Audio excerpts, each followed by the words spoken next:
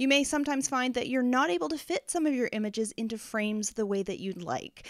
You try to add the image, but the edges keep getting cut off, and you're not able to resize it to be smaller inside of the frame such that the full image can be seen.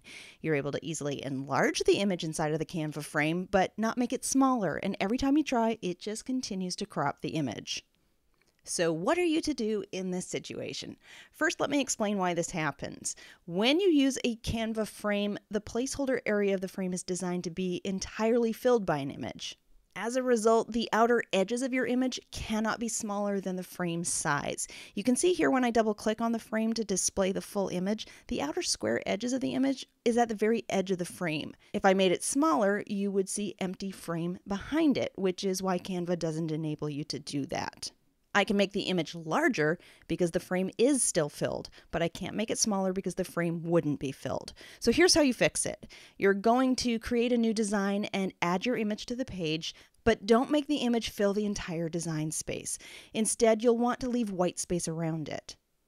Now save your design as a new image and a little tip, you can use the design to image app in Canva to do this really quickly. I have another Canva tutorial showing you how to use it and I'll link to that below this video. Now I'm going to pull that image into the frame again, and this time you'll see that it's not cutting off because the image I've used has that white space around it that we added. This is the solution I would normally use, but if you're looking for an even quicker hack, if the image you're trying to add has a solid color behind it, another option is to just fill the frame with that same color and then to place your image on top of it so that you can easily resize it as a separate component. Just be sure to lock your frame first to ensure that it doesn't pull the image into the frame. But ultimately, using a version of your original image with that increased white space is going to result in a far better quality design because it will be able to crop the edges of your image with more precision. If you haven't yet upgraded to Canva Pro, I encourage you to give it a try.